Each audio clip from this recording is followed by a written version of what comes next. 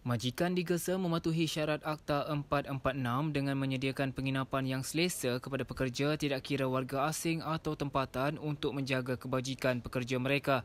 Menteri Sumber Manusia Datuk Seri M. Saravanan berkata pihaknya tidak akan berkompromi dengan mana-mana majikan yang gagal mematuhi spesifikasi Akta Standard Minimum Perumahan, Penginapan dan Kemudahan Pekerja 1990 kurungan Akta 446. Saravanan berkata mana-mana majikan yang tidak memiliki perakuan penginapan boleh dikenakan tindakan mengikut Seksyen 24 di Kurungan 1 Akta 446 dan jika sabit kesalahan boleh didenda sehingga RM50,000 bagi setiap kesalahan.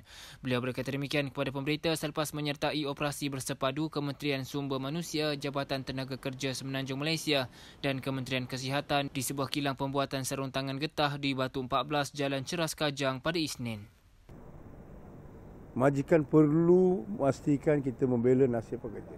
Tolonglah. Saya merayu kepada majikan, jangan. Cuba kita hidup dalam kesuasaan ini, kita takkan boleh hidup. Dan yang kedua yang penting, saya minta peranan daripada PBT.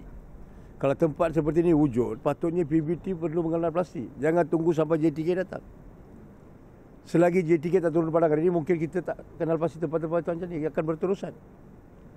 Dan hari ini anggota JTK Ha, dan anggota-anggota lain lebih kurang 60 orang turun padang dan mengambil tindakan. Ini patut menjadi amaran kepada semua majikan.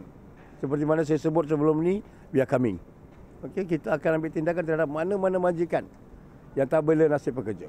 Kementerian akan uh, mengambil tindakan mengikut Akta 446 dan uh, dalam masa terdekat Ketua Pengarah akan mengumumkan.